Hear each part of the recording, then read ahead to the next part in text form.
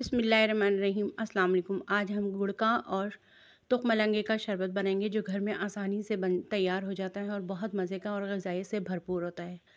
तुख मलंगा ठंडा होता है और मैदा साफ़ करता है तो आज हम तुख मलंगे का और गुड़ का शरबत तैयार करेंगे। बहुत आसान रेसिपी के साथ। अगर मेरी रेसिपी आप लोगों को पसंद आती है तो लाइक, शेयर, कमेंट्स करें, सब्सक्राइब भी किया करें ताकि मेरी वीडियो आप लोगों को सबसे पहले देखने को मिले। खाना पकाने से पहले बिस्मिल्लाहिर्रहमानिर्रहीम दुरुश फ्लास पड़ा करें। इससे खाने में बरकत होती है और जायका भी बढ़ता है। चलते हैं रेसिपी की तरफ़। यहाँ हमने तीन बट्टियाँ गुड़ की ले ली हैं। इसे तोड़ लिया है। तोड़ के इसे प्याले में डाल दिया है। अब इसमें पानी डालेंगे भिगोने के लिए। घोलने के लिए रख देंगे इसे। ये देखें छोटे छोटे पीस कर लिए हमने। इसमें हम डेढ़ से दो गिलास पानी डालेंगे। हम चार से पाँच गिलास शरबत तैयार कर रहे हैं तो तीन बट्टियों से गुड़ की जो छोटे छोटे डेले होते हैं, बने हुए गुड़ के, उनसे ये तैयार हो जाएँगे। तो इसे भिगो के रख देंगे ढक्कन लगा के, ताकि जैसे हमारा गुड़ होता है, वैसे ही हम आगे काम करते हैं। यहाँ हम तुखमलंगा तीन चम्मच भिगो देंगे।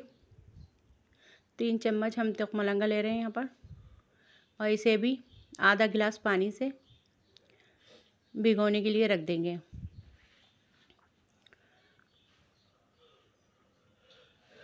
अच्छी तरह से इसे भिगो, पानी में हल करेंगे और इसे साइड में यहाँ हमारी सब चीज़ें तैयार हो चुकी हैं। गुड़ भी हल हो चुका है, अच्छी तरह से घुल चुका है सारा। अब इसे छान लेंगे हम, किसी भी छन्नी की मदद से।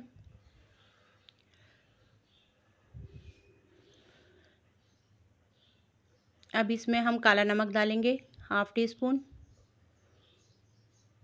आधा चाय का चम्मच डालेंगे।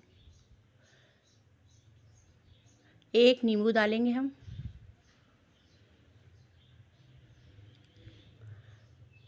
एक नींबू अच्छी तरह से निचोड़ेंगे, छन्नी की मदद से, ताकि इसका बीज ना जाए। बस इसका रस निकले।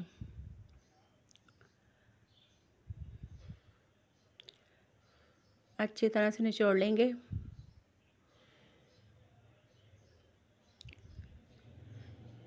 यहाँ हम तुखमलंगा डालेंगे। हम तीन से चार चम्मच भर के डाल रहे हैं इसमें। क्योंकि तो मलंगे का और गुड़ का शरबत है तो दोनों चीज़ें ज़्यादा होना चाहिए। और ये हमने बारीक बारीक स्लाइस काट लिए थे नींबू के, और नींबू को इसमें इस्तेमाल करेंगे। नींबू को इसलिए डाले इसका खुशबू छिलकों की आना चाहिए शरबत में। अब हम बर्फ़ डालेंगे गिलास में।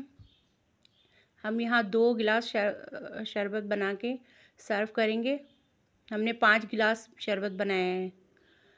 तीन बट्टी से पाँच गिलास शरबत तैयार हो चुका है गुड़ की। और अगर आप लोग ज़्यादा मीठा पीते हैं तो ज़्यादा गुड़ डाल के बना लें। ये नॉर्मल गुड़ का बना है, बिल्कुल परफेक्ट तैयार हुआ है यहाँ पर। यहाँ हम गिलास में सर्व करेंगे। नींबू के स्लाइस काट के हम साइड में लगा लेंगे।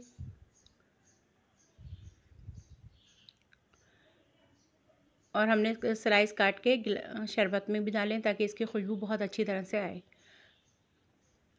यहाँ देखिए, माशाल्लाह बिल्कुल तैयार हो चुका है हमारा शरबत। गुड़ का और तुखमलंगे का मैदे को ठंडा करता है, गर्मियों को भगाता है ये शरबत। और गर्मियों में तो बहुत अच्छा शरबत होता है, ये मैदे को साफ़ करता है। और कब्ज़ वालों के लिए बहुत बेहतर है, गुड़ का शरबत और तुखमलंगा तो वैसे ही बहुत अच्छा होता है। मैदे को ठंडा रखता है। आप लोग ज़रूर बनाइएगा और रमज़ान में बना के ज़रूर पिएगा। बहुत मज़े का और बहुत ज़ायक़े वाला बनता है ये। गुड़ का तो मलंगे का शरबत। ज़ायक़े से भरपूर गज़ाइयत से भरपूर। अगर हमारी रेसिपी पसंद आती है तो ज़रूर बनाइएगा और मुझे अपनी दुआओं में याद रखिएगा। चलें, चलती हूँ। जहाँ रहें, खुश रहें, आबाद रहें। अल्लाह हाफिज़।